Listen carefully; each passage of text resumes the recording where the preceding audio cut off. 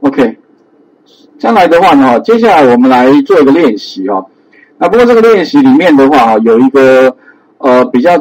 特殊的地方，就是说会多一个形态。这个形态的话呢哈，它是这个叫 list。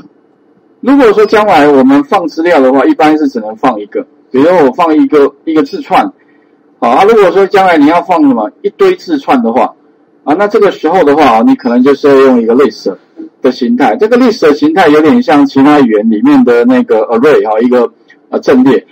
不过呢，在这个 list 里面哈，最大的不一样哈，就是呢，它里面每一个资料哈，它可以是不同的形态。OK，我感觉这个有点像那个 Excel 里面了。反正 Excel 里面你丢什么，它你可以丢一个文字，丢一个数字等等的，它其实丢什么它就是什么。OK 哈，所以这样的好处哈，哎，就是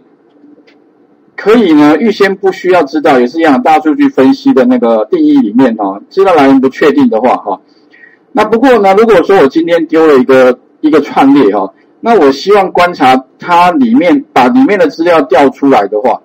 啊，特别注意哦，它里面就是一个有一个 index，那 index 的话呢，哈，一从零开始，所以如果我要抓第一个哦，特别说你就是要用什么 x，如果你要抓第一个的话，中刮弧，然后里面的话你给它零，如果你抓到的话就会抓第一个，啊，以此类推，OK 哈，所以它的顺序不是从一开始哦，不像 Excel 里面一第一列就第一个，它从第零开始，OK 好，那再来的话呢，我们后面有个 type。将来如果说呢，哈，你假设写程式里面经常遇到就是你形态错误，那你要想说到底为什么形态错误？你可以把它 type 出来，它会告诉你，哎，那个变数里面它里面到底是呃放哪一个形态？啊，是 string 呢，还是 int 呢，还是 float 哈，或者是 list？啊，当然这三种是最常用到的啊，其他后面当然还有就是比较罕用，但是也会用到的相关形态啊，像 dictionary，像字典。后面也会提到，OK 哈，所以我们先把比较重要的啊，先把它拉出来。那请各位练习一下吧哈，把刚刚讲的东西啊，也许你就做一个呃简单的 sample。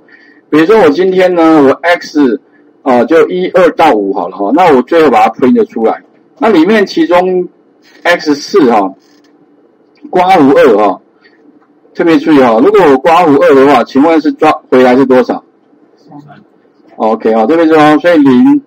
一二，哎，刚好它就抓到二，所以它 print 出来，哎，就会是我们的结果。那请各位待会啊，也是一样，哎，建立一个新的 module。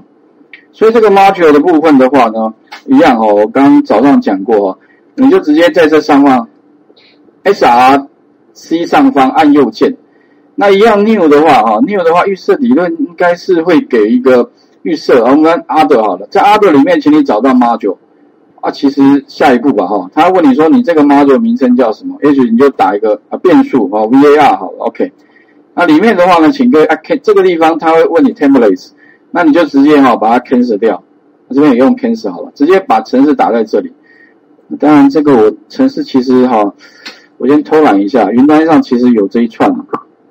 OK，那请各位试着打打看了，因为大家了解一下相关变数哈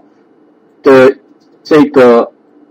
这个指定哈跟输出，OK，把它 print 出来，好吧？把这个最后把把它这个呃 print，OK，